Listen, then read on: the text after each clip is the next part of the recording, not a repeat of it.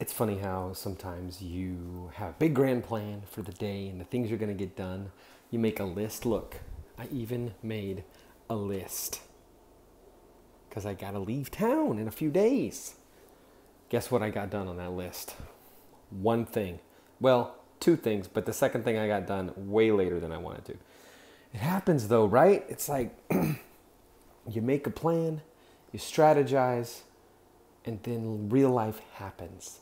I think it is in D and D and strategy, like military strategies and stuff. You say uh, every plan. I don't know the exact words. I'm going to butcher it, but something like every plan.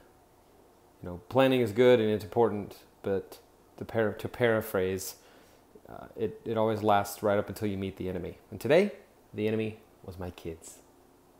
And I don't mean I hate my kids. I mean they were the enemy of my plans because of the fighting and because of the crazy just wanting to do things and get in the way. And so I just kind of gave in and played Xbox with them and made them meals, which that's not giving in. That's something I would have done anyway.